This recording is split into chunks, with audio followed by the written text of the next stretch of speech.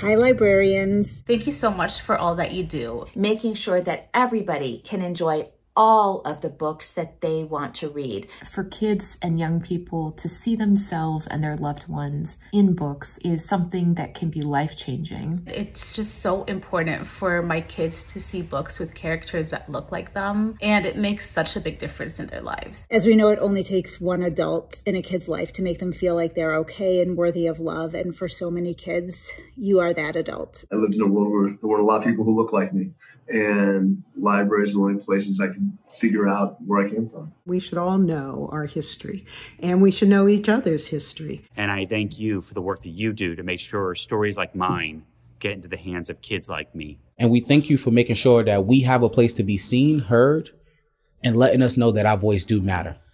Thank you all.